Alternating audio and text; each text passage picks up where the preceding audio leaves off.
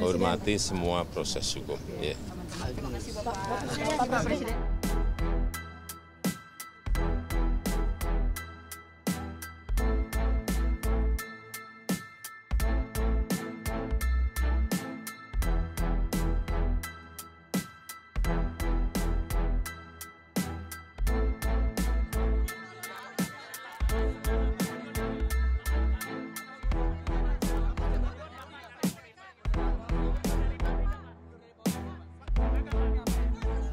Ini boleh ya Pak tanggapannya tentang uh, ketua KPK sebetulnya Hmm? ketua KPK sudah menjadi tersangka Ya, hormati semua proses hukum. Hormati semua proses hukum. Ya. Pak Presiden. Ini kan untuk.